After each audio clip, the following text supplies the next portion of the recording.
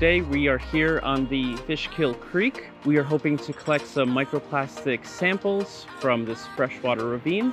I am on a research team with Dr. Abul Baki. His project is looking for microplastics in freshwater ravines. So my role here is at the lower Hudson area, collecting samples from all along the Fishkill Creek. So right now we are in Sarah Taylor Park. Microplastics are a big issue. They are ubiquitous. We're even finding that microplastics exist in infants even before they're born. And so we want to find a way to remediate this issue and getting out into our creeks and studying them, getting into our waterways. This is how we begin to come up with strategies to solve the problem.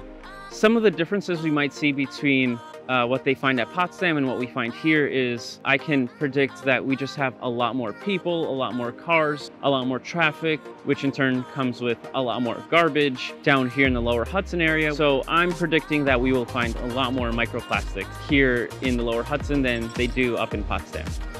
The result of a project like this could potentially give Clarkson a chance to influence positively an environmental challenge that affects not just the Hudson Valley and the North Country, but all of New York State and the world.